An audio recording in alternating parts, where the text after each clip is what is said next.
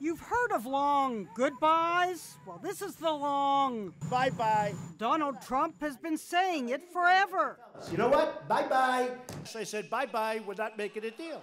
But when he said it and then walked out on Chuck and Nancy, I very calmly said, if you're not going to give us strong borders, bye bye. it made headlines.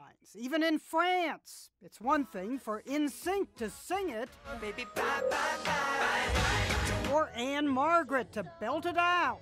Bye, bye, bye. But this is Bye-bye. POTUS, not some SNL skit Bye bye. Bye bye. about a mean airline. Uh, excuse me, could you tell me? Bye-bye. I'm sorry, what? What part didn't you understand? The buh or the bye? Bye bye.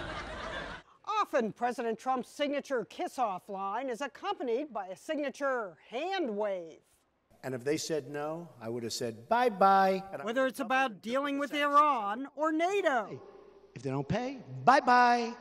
Bye bye. Bye bye. He loves saying it to protesters. Bye. Go home to mommy.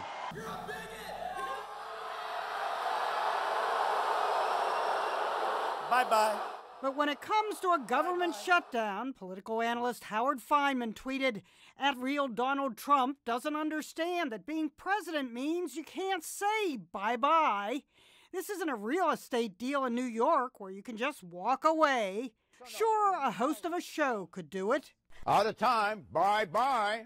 but out of line, according to this analyst. Bye bye? What is he, a Teletubby? Bye bye. Bye bye, Laa-Laa.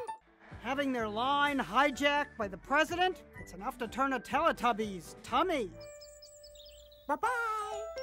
Bye bye, Laa-Laa. Jeanne Moos, CNN, Bye bye, Po. Bye bye. New York.